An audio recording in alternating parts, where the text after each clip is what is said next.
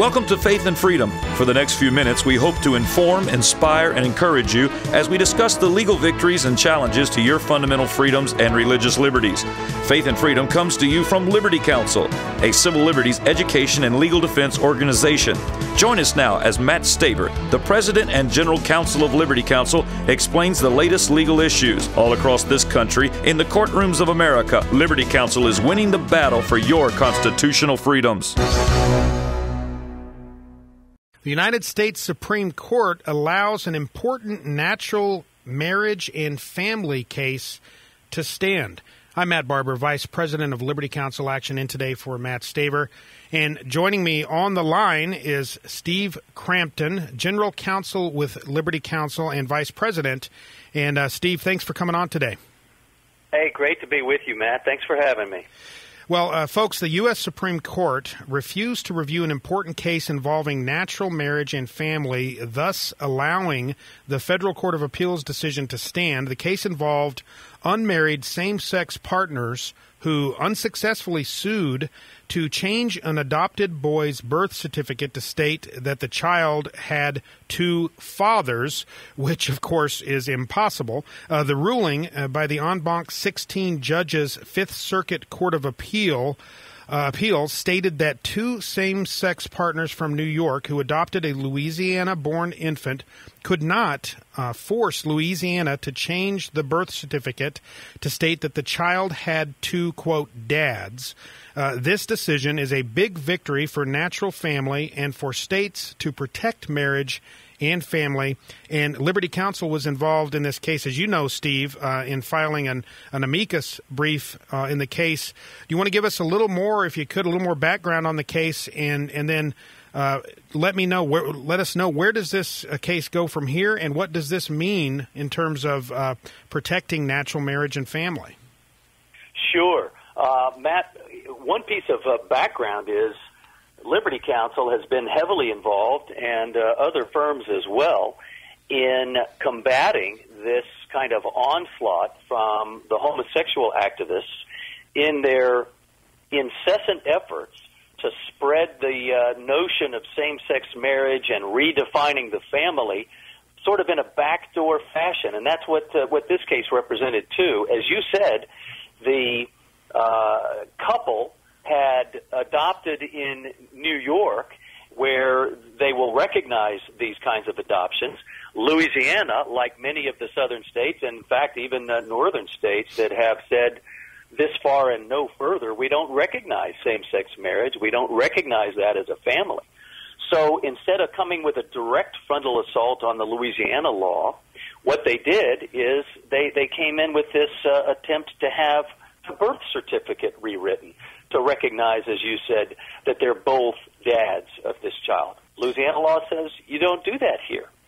So the registrar in Louisiana, who just, you know, normally handles, it's a paperwork kind of issue. Sure. You reissue a birth certificate. No problem. What she said is, I can't put both of your names on there. Our state law doesn't allow it. Instead, what I can do is y'all choose which one of you uh, wants to be on. I can let one of you be the dad and, and reissue a birth certificate that way. But these guys, because they had an agenda, said, no, no, no. And instead, they go and file in federal court a lawsuit against this official saying you've denied us our rights under the full faith and credit clause because mm-hmm. you won't recognize what New York has done.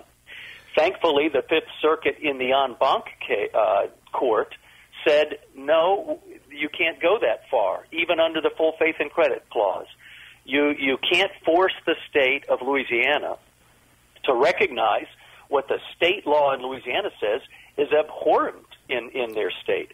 We don't recognize same sex marriage. So it's a tremendous ruling. And as you know, Matt, but many of our listeners may not know, there are lots of uh, federal courts of appeal, and mostly what they do is they sit in panels of three judges each.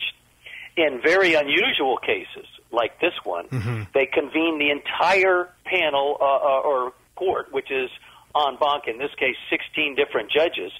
And so their opinion here by the en banc Fifth Circuit carries additional weight over just a regular panel of three judges. Sure.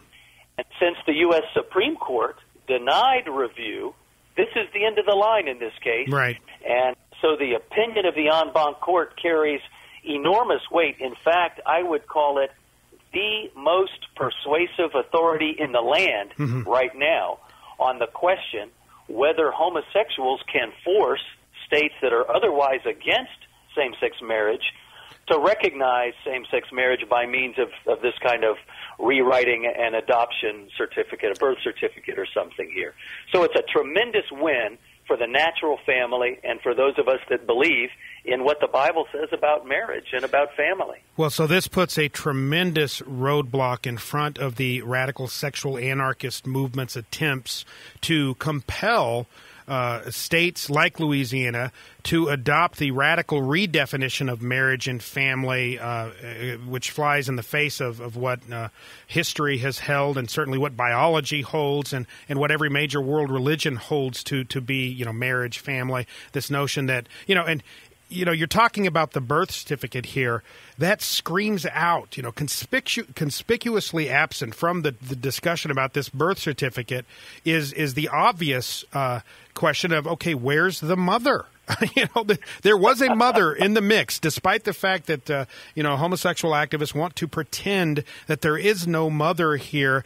Uh, my, my last check in you know biology, my biology 101 book from college uh, indicates that no, nah, you kind of got to have a male and female. Uh, still, even Yeah. even today, political correctness has not been managed yet to to make it uh, possible for two dads to so called to procreate or two moms to procreate. Right. You need the male female binary relationship. Absent from that birth certificate is the mom, and it's tragic. Frankly, Yes. that that Yes. we are now intentionally courts in New York and elsewhere and, and states. Some states are creating a situation where kids are intentionally denied a mother or a father. It's unconscionable. It's reprehensible.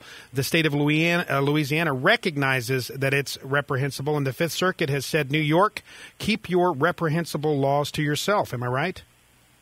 That, that's exactly right. You know, it's we laugh about it in a way that, that uh, everybody knows you need a mother, and those pesky facts, as one court has observed, sort of get in the way of your political agenda.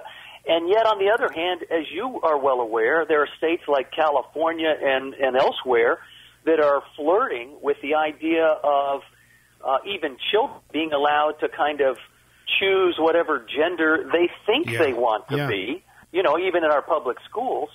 Thankfully, states like Louisiana return to a common sense kind of view that you really can't deny, as you say. You got to have a mom, and thankfully, many many states say just because you feel like it, you can't, you know, pretend to be a mom when in fact biologically you are a, a male. Uh, but you know, we're we're playing with brave new world sort of uh, ideas here, and here is a great ruling that sort of returns us to sanity. Well, to say that you know there are two mommies or two daddies on the birth certificate is a fiction in every sense of the word. It's a legal. Amen. It's a legal fiction, certainly. That's and, and that means that the, the the courts or the law has to pretend that reality is not reality in order to to uh, affect this radical political agenda. It's also a a, a literal fiction. I mean, you can't have two mommies Yeah. or two daddies, and so you know, and and I, a recent case I think uh, represents a microcosm of what we can come to expect, and we're running real short on time here. But a, a lesbian uh, couple. Uh, here had had adopted a two year old boy. That boy now uh, eleven. They have been transitioning him into a girl by stunting his growth intentionally through hormone abuse. And uh, and that to me he is the poster child against this notion of of of you know uh, so-called gay adoption. They are abusing this child uh, and and now are trying to prepare him for a sex change operation. They want to get it done before he hits puberty that is nothing short of, of abuse and that's why when we deviate from the natural family and natural marriage children right. ultimately are caught in the crosshairs we only have about 30 seconds left your thoughts Matt, that's exactly right. You know, there's another fiction out there that what these people choose to do, uh, you know, and it's all a consenting adult kind of thing. It doesn't harm anyone. That's hooey. It harms those children, and it harms all of us in society. We need to get back to basics here, and this case is a great first start. Well, thanks for being on today, Steve. And folks, uh, we encourage you to go to Liberty Counsel's website, lc.org. Find out how you can become part of Liberty Counsel's ministry or give us a call, 1 800 671 1776. We're standing in the gap to protect these children from this radical agenda, this selfish adult political agenda that harms children. Go to lc.org or give us a call at 1 800 671 1776. Stand with us as we stand in the gap to protect children. You have been listening to Matt Staver of Liberty Counsel. Our hope is to encourage and inspire you to stand up for your faith, family, and freedoms. We can accomplish a lot when we work together. Get informed and get involved today. Sign up for our free monthly newsletter, The Liberator. We will send it out to you free of charge. Stay informed with our Liberty Alert email update. Just click on the website at www.lc.org or call us at 1 800 671 1776. Tune in next time to learn more about your rights right here on Faith and Freedom.